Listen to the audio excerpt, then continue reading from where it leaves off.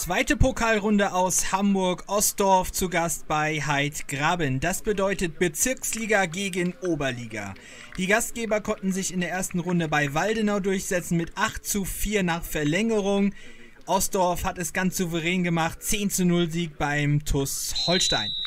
Die Gastgeber in den grün-schwarzen Trikots, der TUS in schwarz und rot. Erste Möglichkeit, Toni Rohrbach. Da war er etwas überrascht, schöne Vorarbeit von Hindaye, aber da wird er aus kurzer Distanz eher angeschossen. Nächste Szene wieder Hindaye, dringt in den Strafraum ein, da wird das Bein stehen gelassen von Fabian Döll. Klare Geschichte, 11 Meter.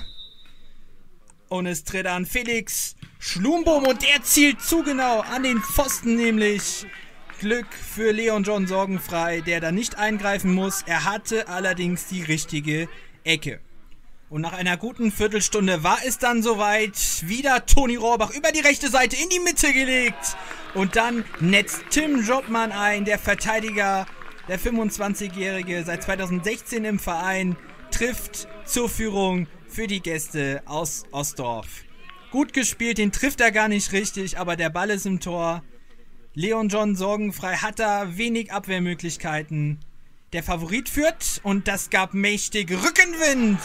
Nach gut 35 Minuten Daniel Tönges, Neuzugang vom SC Nienstedten aus der Landesliga Harmonia, trifft für Ostdorf. Toller Fernschuss aus gut 20 Metern. Einfach mal draufgehalten.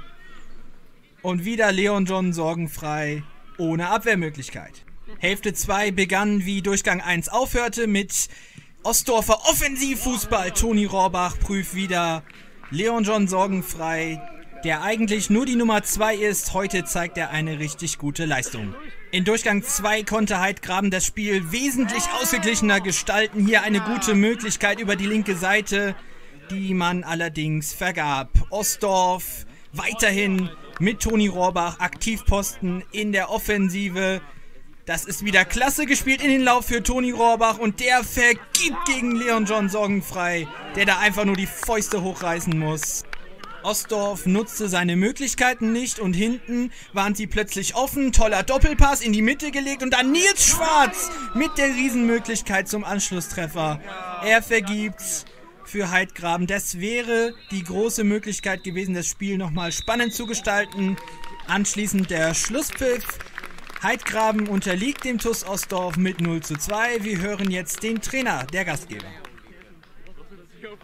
Ähm, natürlich ähm, bin ich stolz darauf, was die Jungs ähm, abgeliefert haben. Man sagt natürlich, oh, hätte man drei, vier andere Jungs mehr im Kader mit gehabt, wäre vielleicht noch mit drin gewesen. Von daher ist das auch ein bisschen schade. Wir können uns natürlich nichts ähm, dafür kaufen für die Leistung. Nichtsdestotrotz haben wir, glaube ich, ähm, Ostdorf über 90 Minuten gut Parole gebieten und die mussten alles ähm, abliefern, und, um uns eben halt zu besiegen.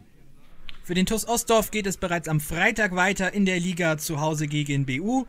Heidgraben spielt auswärts beim SC Pinneberg. Vielen Dank fürs Zuschauen.